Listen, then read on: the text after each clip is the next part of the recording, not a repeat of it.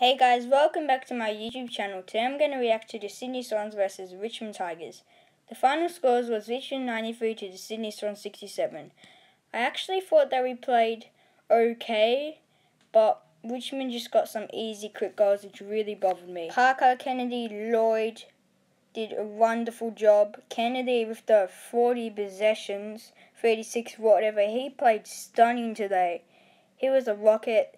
Lloyd, of course, in there as well. Every week he's got over 30 possessions along with Josh Kennedy. Parker got injured a couple of times, so fair enough he didn't get that many possessions. But we only scored one behind for the whole game. That's unusual, but doesn't really matter at the end of the day.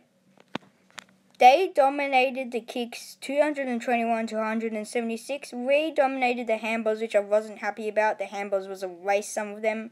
153 to 160. I wasn't happy at all. Disposals 374 to 336. Yeah, fair enough. They won the game. They can win that. Disposal effectively doesn't really matter. They won 75% to 70%. I just have to say this. Ronke is a star.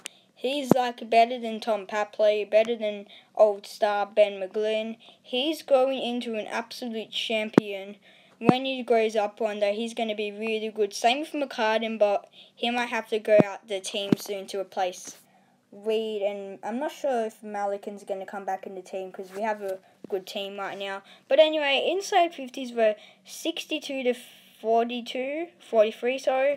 They won that, but we got a record on inside 50s.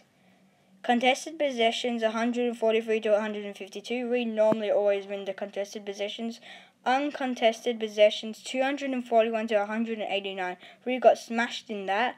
Marks 109 to 66. That's also something we got smashed by. Contested marks 15 to 11. Marks inside 50 17 to 6. Tackles 69 to 84. Tackles inside forward 50 12 to 8. Intercept possessions 85 to 71, didn't win that. Turnovers 71 to 85. Clearances 31 to 39. We're pretty good at clearances. Stoppage clearances 17 to 28. Hitouts 45 to 40, pretty close. Bounces are all even 8 to 8. Frees 4 19 to 25. So overall, that was pretty good. We did lose a lot of stats, but we won heaps of stats even though we lost the I game. know we only scored one behind, but at the first quarter the scores were 6 goals 1 to 3 goals 1, then 7 goals 2 to 5 goals 1, then 11 goals 5 to 10 goals 1, then 14 goals 9 to 11 goals 1. We were right in the game at the halfway mark of the last quarter until they kicked heaps of easy goals, which really frustrates me and ended up winning. But now I'm going to show you guys some Swans cool highlight goals that I really like to watch. So let's see them. Parker took that extra step, but it's okay. Franklin in a good spot. What a duel. Ranson Franklin rocks onto it. You talked about Friday night. Welcome to Thursday night, young fella.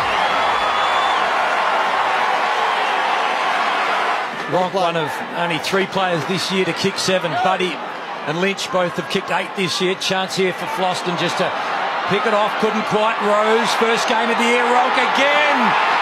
You can't script this stuff. First two. That's a clever kick to a very, very good target. Who's in a good spot, I reckon, for him. Could he nail this one from the pocket? Got one in the first. Improves the angle. It's a beautiful kick. It's just. Is it? It is. It is.